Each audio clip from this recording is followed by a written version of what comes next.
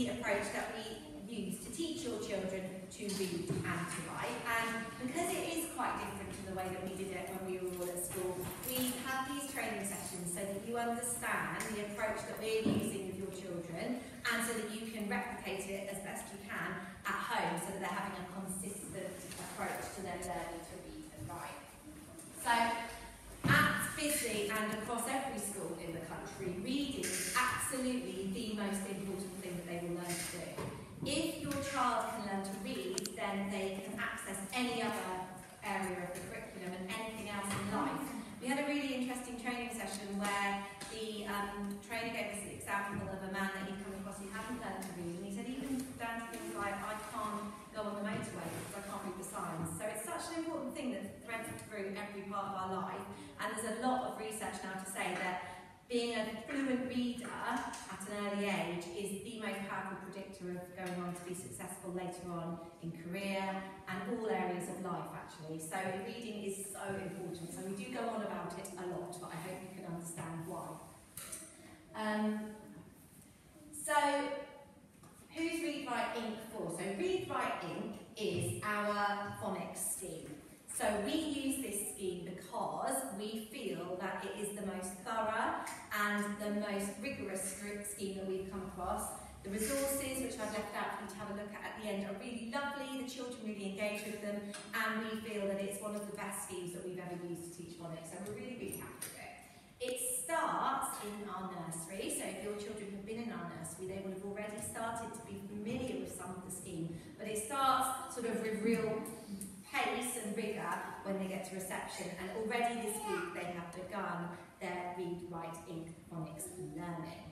So it will start there and it will go all the way up to the beginning-ish of year two. Now one thing to say is that I'm sure you all know this, that every child's brain is different, just as everyone in this room's brain is different. Everybody learns things at different paces.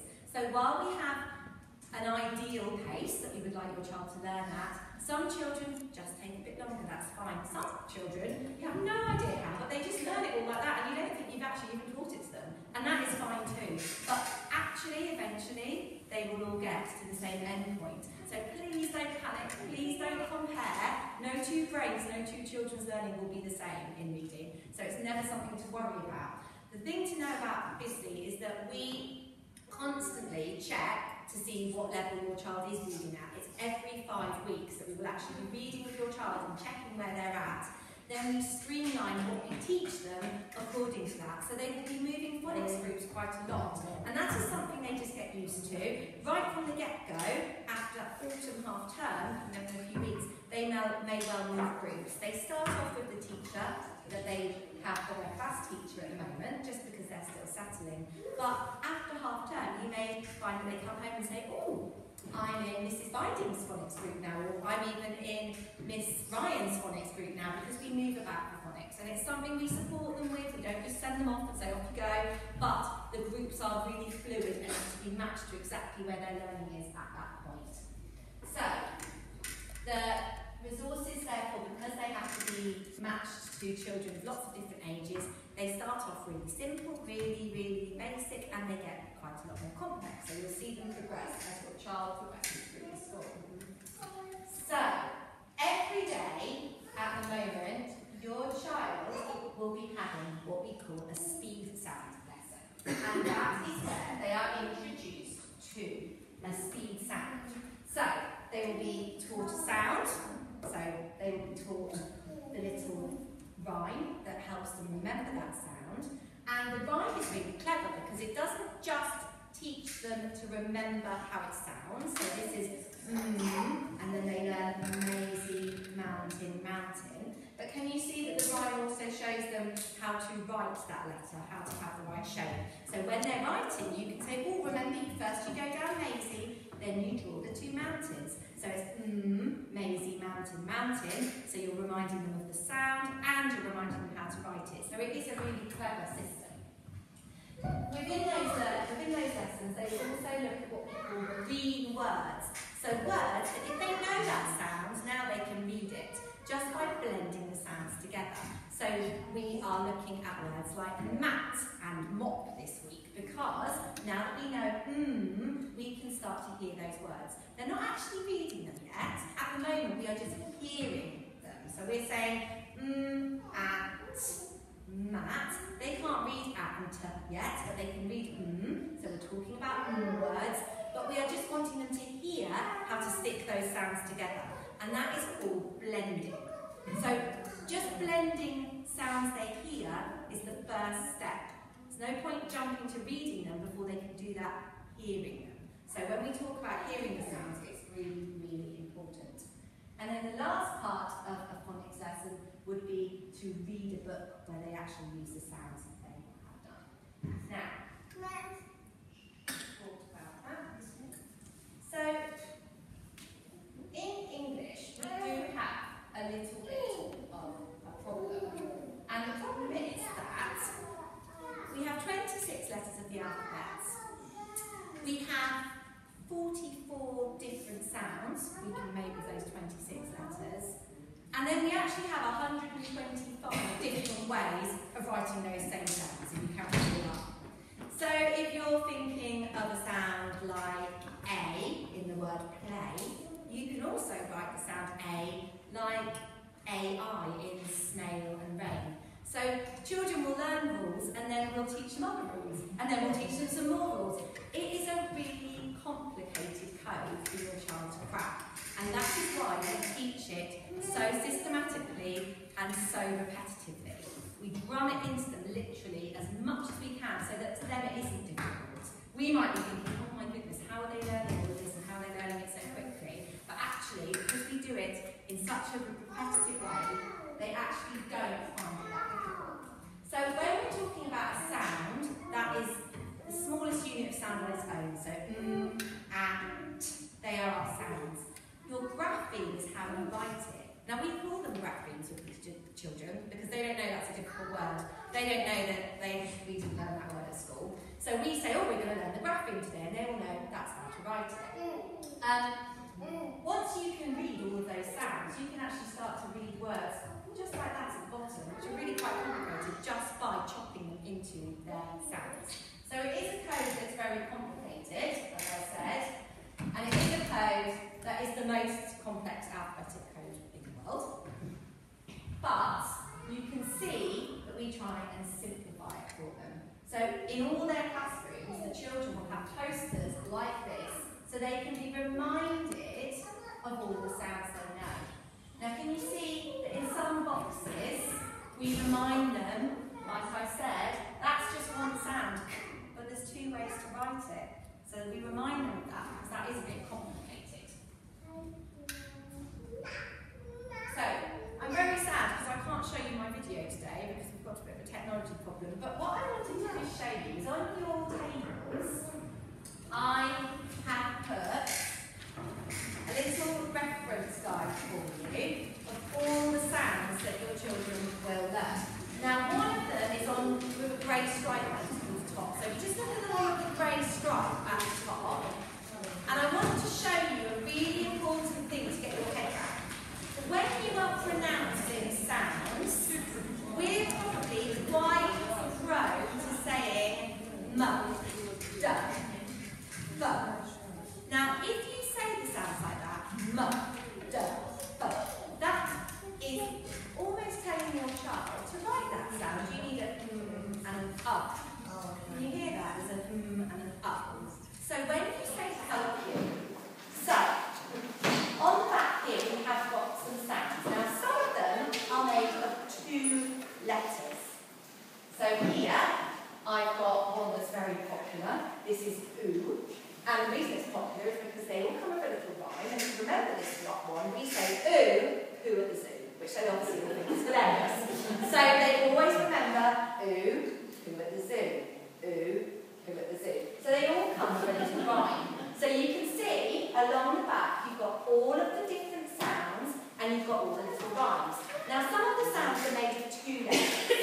so if they're made of two letters, the children are taught from the get-go, we don't say it's a difficult word, these are digraphs. Two letters, one sound. We don't say hop, op, they make one sound, we say oo. So it's a digraph. So they would get taught two letters, one sound, oo, who at the zoo. Now, it goes on from there, because the sounds in English are actually made of three letters.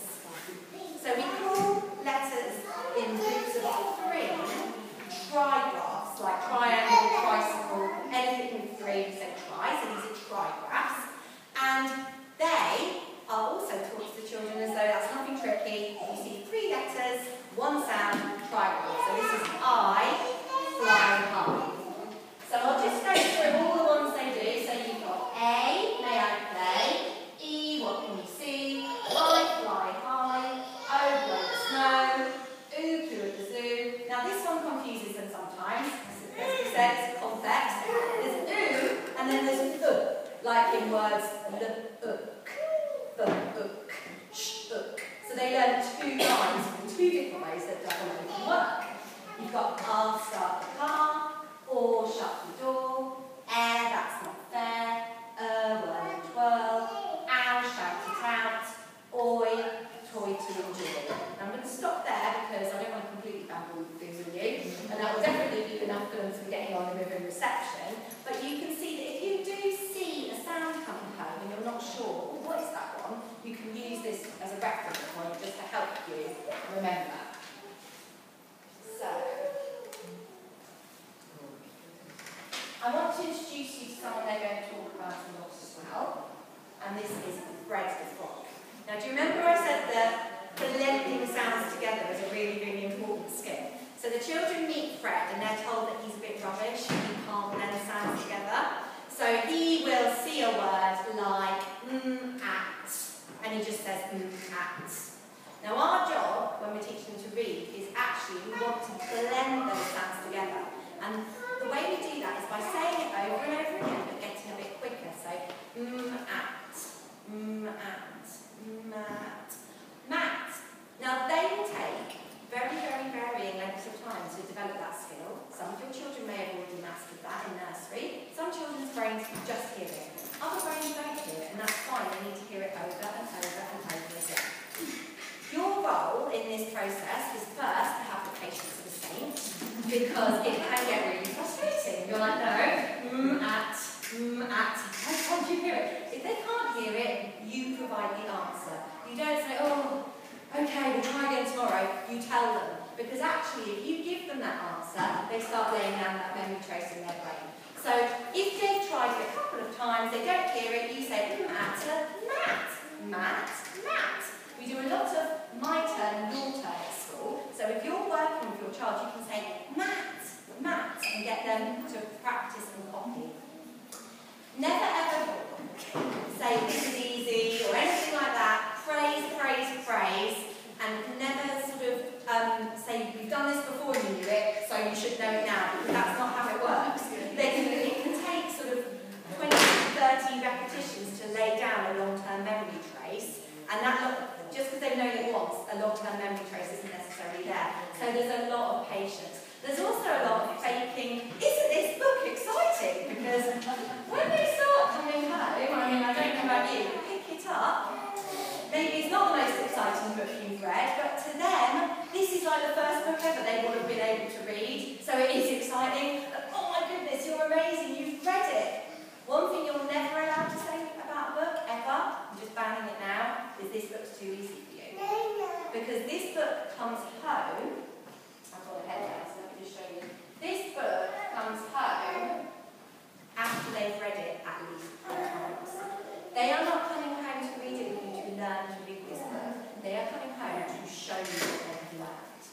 If you get this book home and they're still struggling with it, we need to know because that means what they've been learning at school hasn't necessarily gone into their long-term memory yet. They haven't got those skills embedded yet. If they come home and they can read it like a dream, that's brilliant because that's what we wanted to achieve. So never ever think, oh, for goodness sake, it's far too easy for them. Why are they sending books home they can read with no challenge? That's not the point of the home reader. So if they can read it great. That means that they are exactly where we want them to be. So I've skipped ahead a bit there, so let's just go back and show you. Yeah, so we met Fred. There we go. Now the clever thing about Fred is he's also a writing tool. So when we get to have learned some of our nasal formations and we remember that Maisie, mountain, mountain makes our mm, and maybe round the apple and down the leaf is making our ah, and down the count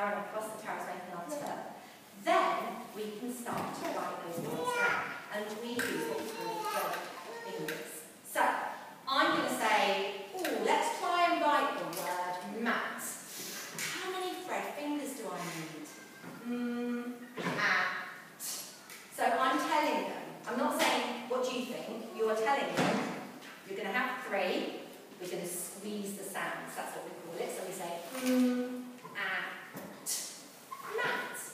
What was the first sound? Squeeze it. Mm. What was the next sound? At. And write down the last one. So it's a really good way. You see how it works both ways. It helps them read them, but it also helps them write it. So it's a two-way thing. So that's why Fred is so important. So, another thing for you to be aware of.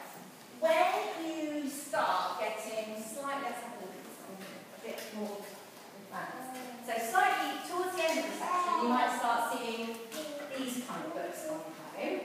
So they get incrementally, like I said, harder. So the first of books you see are these. And they've literally got one word per really nice and simple. But again, we're not going to say, oh, this is a bit boring, so you've got one word. It's amazing, it's exciting. Then, you will start to see these sorts of books. Now, like I said, they've been reading this three times at least in school, maybe more. So when they come home, you want to read them. With. Now, the red books, only the red books, because they like to keep it confusing, have three mini stories in each book called ditties. So you don't have to read all three at once. If they're up for it and they're in the mood, great. But don't worry, like there are three, ditty one, ditty two, ditty three in there. Now, at the front of all our Read Write Inc books, you've got the sounds that we've practiced. So when you start, before you jump into reading it all, your first job is to practice the sounds. Now, can you see some of the sounds have got circles sound of circles around them are the ones that they would be focusing on. So that's the ones to start with first. So I would say circle first. So we say s, like that. Then you can point to them, mix it up, all of that kind of thing. And then here, green words. Now green words are the words that they need to be able to read to access this story. They're called green because they follow all the rules really nicely. So if I know my phonics and I know my sounds I've been taught, I can read these words. So, for example, I know y, I know e, and I know s. So I'm going to be able to read yes. Now, can you see, sorry, it's a bit far away, but some of the words have got two letters. Do you remember you said they're called digraphs? They put a line under them. Now, children, when they're reading, will also call those digraphs special friends. Special friends who say hold hands and stick together and make one sound. When you read with them and they're looking at a word, the first thing you want to say is, oh, special friends. You don't have to say, can you spot any special friends? You should literally be able to say special friends and they should say, or special friends, yes. Because that's the way we teach them every day. Whenever they look at a green word like this, you would say, reception class, special friends, and they will say, then we'd say Fred talk. So once we've found our special friends, we do what's called Fred talk, and that's reading it sound by sound. So we say ch, i, mm, ch, i, mm, ch, i, mm. So special friends, Fred talk, read the word. So that's what your job is to do with them. Don't worry if you forget all this, like I said, we've got it all filmed for you, but the best thing just to remember, special friends, Fred talk, read the word. You can't go wrong. And then finally, you do the work. So you can see if they're struggling one night and they're exhausted, they're tired, you're probably not going to do all that. If it was me, I'd say, well, tonight let's just do our speed sounds. Tomorrow, we'll do the green words, and the day after, we'll read the book. So you do keep these books for a good few days. If we change them every day, they are not getting the most out of it. It's supposed to be really embedded learning. So that is why it's done at that pace. So I hope that's all made sense for you. You're the experts by the time you leave here. So the next thing I need to show you is the red words. Now these are the real pains in the red words because they don't follow rules. So obviously we spend lots of time teaching the children all these really handy rules words. And then along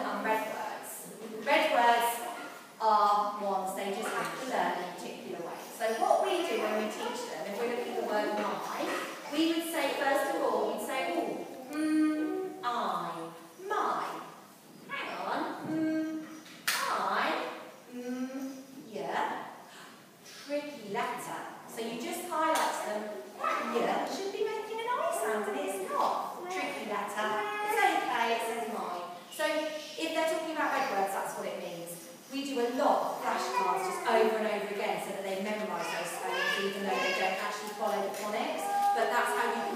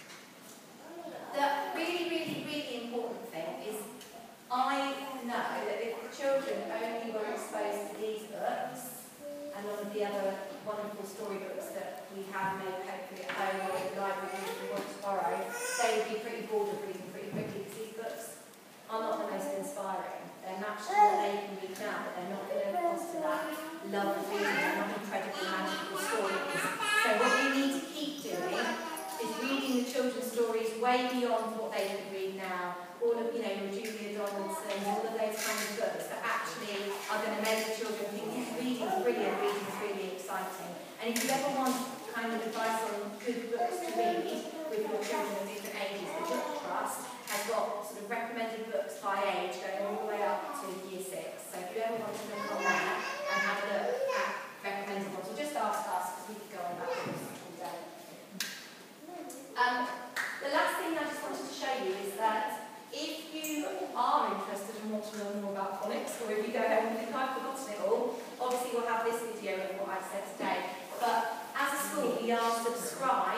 to what's called Ruth Miskin and